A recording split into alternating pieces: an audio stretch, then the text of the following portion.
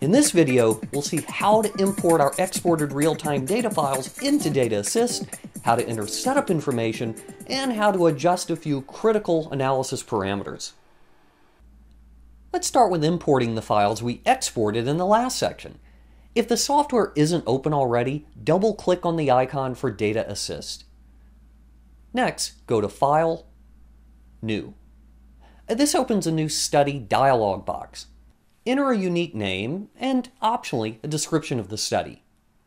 Now, add files. I previously exported the results from a study in the 7900 RQ Manager software that contained a Delta Delta CT file. I'll navigate to where I saved that file, select it, and hit Open. If I wanted, I could also add additional exported study files, and all the data would be combined into a single file. In this case, though, I'll just click OK. At this point, we need to do some labeling. Now, as you can see, certain information gets carried over from the exported real-time files, including sample and assay names. Other information, however, such as the reference sample and the endogenous control, needs to be designated within DataAssist. I'll start with the endogenous control.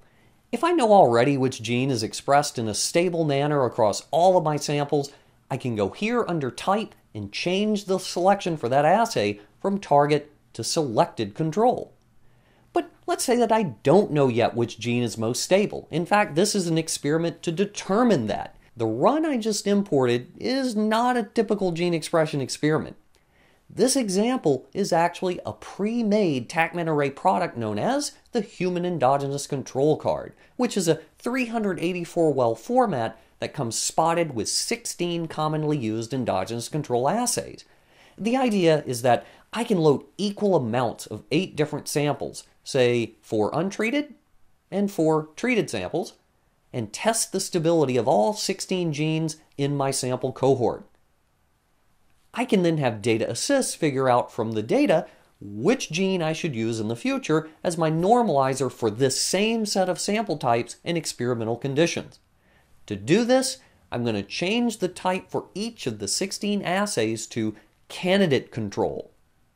Because this may seem a bit cumbersome, I like to quickly mention an alternate way to enter assay and assay type information. As described in Appendix A of the user manual, one can import a .txt or .csv assay design file containing this information into DataAssist. Similarly, a sample design file can be used to enter sample names and biological groupings. Let's go back to our endogenous control plate. Now that every gene is designated a candidate control, I'll click on the binocular symbol next to Select Endogenous Controls for analysis a chart comes up showing the stability in CT for all eight samples. Each assay also receives a score based on variation of that gene compared to that for all other candidate controls. The lower the number, the more stable the gene is in my samples. It looks like beta-actin and beta-2 microglobulin are most stable. One important note, in order to get meaningful scores using the built-in geNorm algorithm, I need to test at least three candidate endogenous controls. If this were a regular gene expression experiment with, say, only two candidate controls and one or more target genes, as I have in this example, I could now switch one candidate gene to selected control, say beta actin, and omit the second candidate control by clicking here, easily removing the data from consideration. Well, let's work from this example for a while, since it provides a nice illustration of an exported study file containing multiple delta-delta CT plates. We're looking at three target genes, plus our normalizer beta-actin. A few things we need to do before proceeding. First, you'll notice that the samples fall into two types, brain and heart. What I have are four biological replicates of each type. I want to label those appropriately such that the software will perform statistics on the groups rather than just on my individual samples. I label them by clicking in the first blank space under Group and entering a group name, Brain say. Now I can use a pull down menu option for the next three biological replicates. I'll also do this for heart. And just to reiterate, I could also make these assignments by importing a sample design file as described in Appendix A. Let's take a look under Analysis Settings.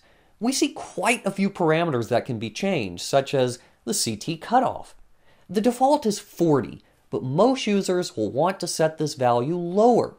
My recommendation is to set it just before the point in the reaction when the precision of your technical replicates starts to become unacceptably high, a phenomenon we almost always see during the later cycles of real time PCR.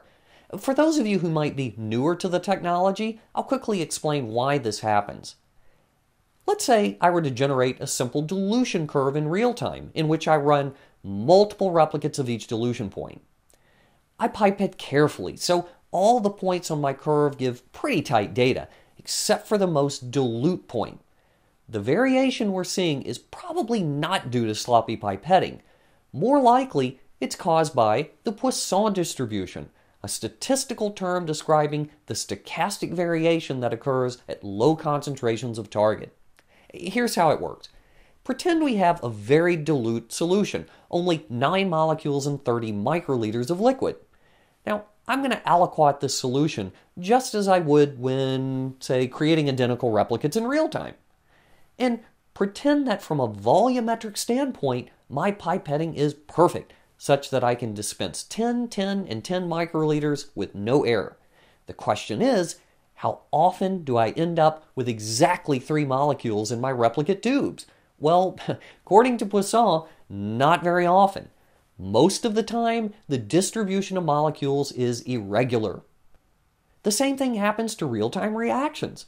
Replicate amplification curves that show up late in the run often have poor precision, making fold change data for these samples a bit suspect.